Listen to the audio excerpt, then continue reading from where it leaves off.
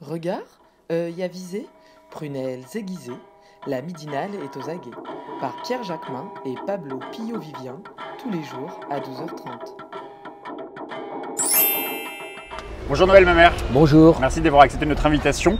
Vous êtes écologiste, ancien député maire de Bègle. Vous êtes aussi à l'ancien candidat à l'élection présidentielle de 2002.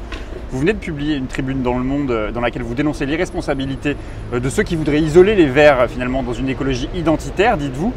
Vous le rappelez dans la tribune, Europe Écologie Les Verts a créé la surprise aux élections européennes, 13,5%. C'est un très bon score ou est-ce qu'il faut quand même un peu relativiser et euh, être prudent sur le score des écologistes? Alors ces 13,5% des écologistes, c'est à la fois un très bon score, mais, il faut le relativiser. C'est un très bon score parce que il s'inscrit dans une débâcle de la droite et, de la gauche, ce qui n'était pas le cas des 16,5% des écologistes en 2009.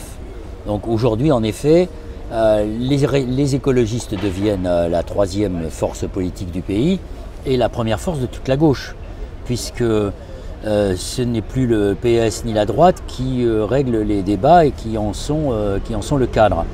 Il faut le relativiser parce que 13,5% face à l'ampleur de la crise écologique, démocratique et sociale que nous vivons, on aurait pu espérer mieux. Ça veut dire qu'il y a encore beaucoup, beaucoup de chemin à faire et que ce chemin, les écologistes ne le feront pas tout seuls, même s'ils le prétendent. Ça veut dire que ce n'est pas tant la stratégie, la stratégie de Yannick Jadot qui a gagné que le contexte d'une droite et d'une gauche totalement euh, éclatés. Ce serait euh, malveillant de dire que la stratégie de Yannick Jadot a échoué. Non, la, stratégie euh, qui consiste à dire, à affirmer l'autonomie politique des écologistes peut se justifier, mais à condition qu'elle s'inscrive dans une volonté de rassemblement, c'est-à-dire dans la mesure où on sait qu'aujourd'hui euh, les écologistes ont remporté une victoire culturelle et maintenant une victoire politique. Euh, ils sont devenus en quelque sorte le paradigme politique du 21e siècle. Donc quand on a cette responsabilité que nous vivons pour la première fois dans notre histoire euh, de l'écologie, quand on est face à une telle responsabilité, eh il faut l'assumer. Et l'assumer, ce n'est pas se replier sur soi, ce n'est pas dire la gauche, euh, l'histoire de la gauche ne m'intéresse pas, euh, c'est des Vous dites c'est la première fois pas. C'est la première fois de l'histoire, euh, mais justement vous le disiez et vous le dites dans la tribune, en 2009 les écologistes avaient atteint quasiment 17%, pourtant entre-temps, y compris d'ailleurs dans les élections intermédiaires, les écologistes ont même disparu de l'Assemblée nationale. Qu'est-ce qui s'est passé? Je répète qu'en 2009 nous avons fait 16%, mais dans un, dans un paysage politique où la droite et la gauche étaient les arbitres du débat. Aujourd'hui c'est fini c'est une sorte de c'est une, sorte de désert sur lequel euh, nous nous trouvons, un champ de ruines, si je puis dire. Et, je pense que quand on est face à une telle situation, qui est d'ailleurs euh, extrêmement inquiétante, puisqu'elle permet, euh, elle facilite sur, sur ces ruines la montée en puissance des, populismes qui jouent sur la peur et le, rejet de l'autre et sur l'identité, je pense que les écologistes, cette fois-ci, ils peuvent plus se contenter de dire on est, on est bon, on est les meilleurs, euh, ils seront les meilleurs, euh, mais avec les autres. Et donc il faut euh, qu'ils soient conscients qu'ils sont une nouvelle composante dans la famille de la gauche, mais qu'ils sont, qu'ils appartiennent à l'histoire de la gauche. Ce que défendent les écologistes, la solidarité, le partage, la redistribution, le combat pour l'égalité des droits, tout ça, ça appartient au patrimoine de la gauche. Avec les autres, il faut composer avec les autres, c'est ce que vous dites. Euh, on a senti quand même que Yannick Jadot avait lancé des coups quand même à ses ex-partenaires, ex-alliés, je ne sais pas comment il faut les appeler, mais lorsqu'il dit que Génération et la France Insoumise ne sont pas des partis écologistes, il a raison Moi, je ne suis pas là pour euh, commenter, pour faire l'arbitre des élégances. Il y a... Euh, la France Insoumise a intégré la question de l'écologie depuis longtemps même si on peut ne pas être d'accord avec la règle verte et un certain nombre de choses comme ça. Euh, Benoît Hamon, il faut quand même pas, il faut pas manquer de, il faut pas être amnésique.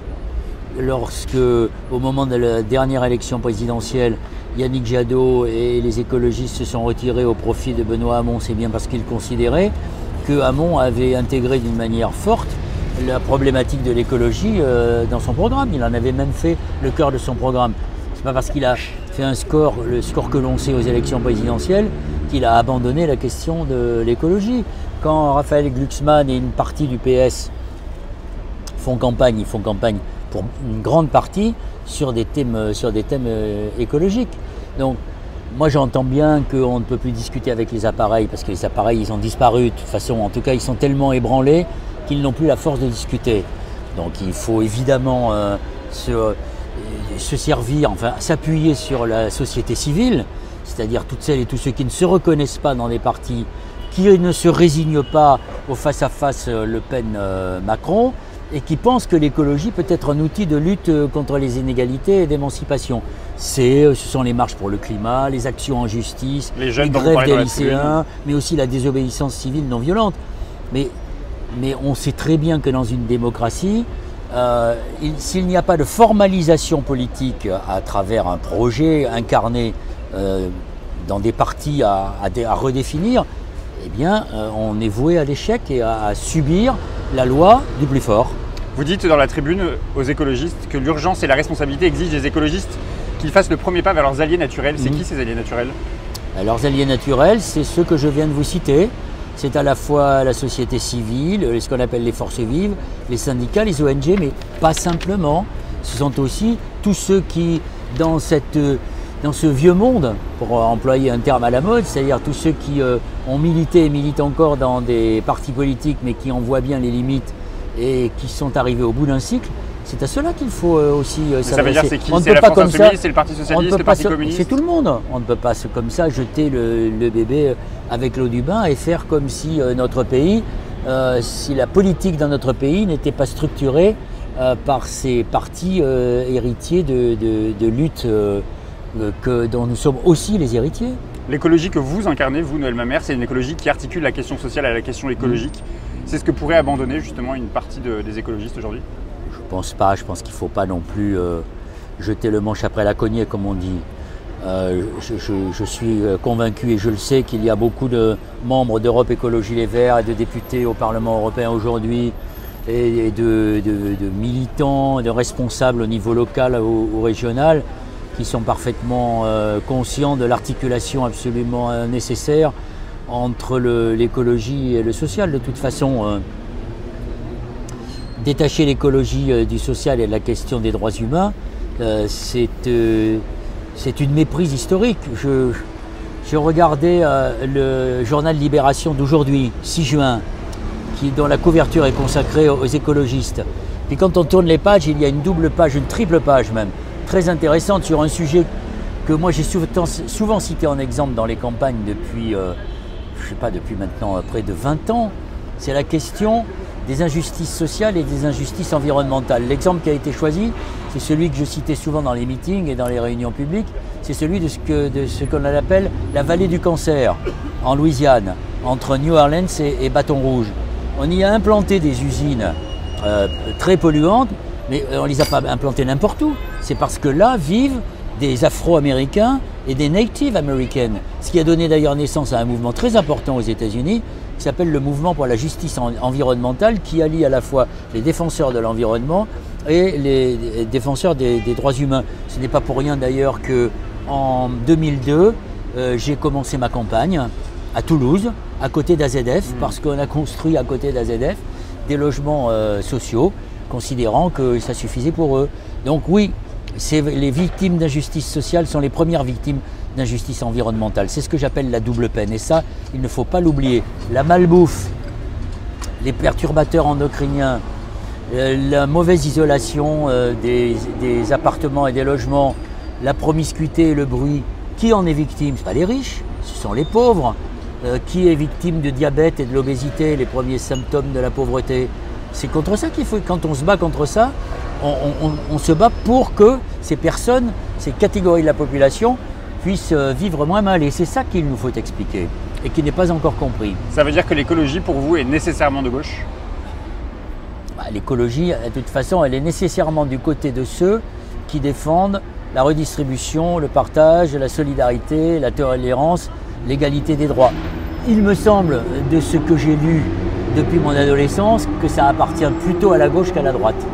Hier, vous avez également co-signé une tribune dans Libération où vous vous appelez à converger, euh, notamment dans le cadre des municipales qui auront lieu dans 10 mois. Si les écologistes s'enferment justement dans cette stratégie d'autonomie, c'est quoi le risque? Ben, Il y a un double risque. C'est à la fois que les écologistes, euh, poussés euh, par ce qu'ils appellent la vague verte, considèrent qu'ils doivent se compter au premier tour et ne faire d'alliance qu'au deuxième tour.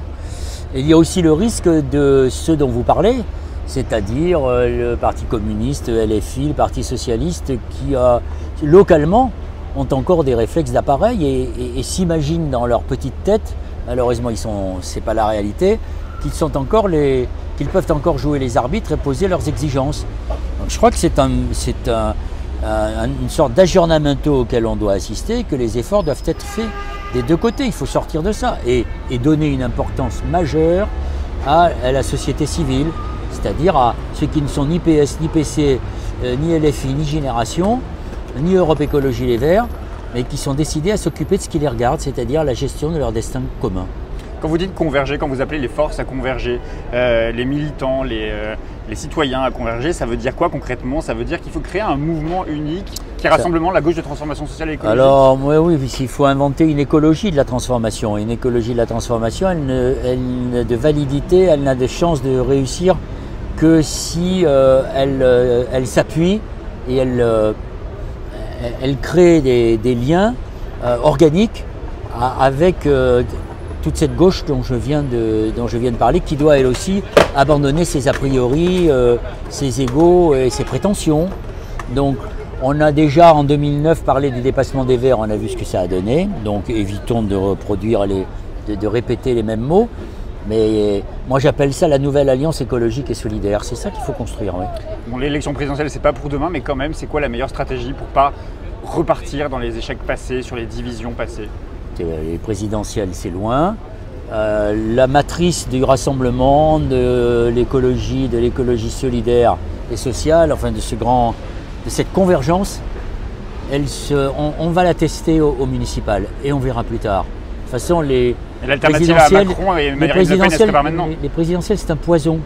Hein, c'est un poison depuis que Lionel Jospin a décidé d'inverser le calendrier et d'aligner le mandat du président sur celui des députés tant qu'on en sera là et qu'il n'y aura pas une proportionnelle euh, efficace à l'image des Allemands, qu'elle sera homéopathique comme ce que propose la réforme constitutionnelle, ça va être euh, très difficile.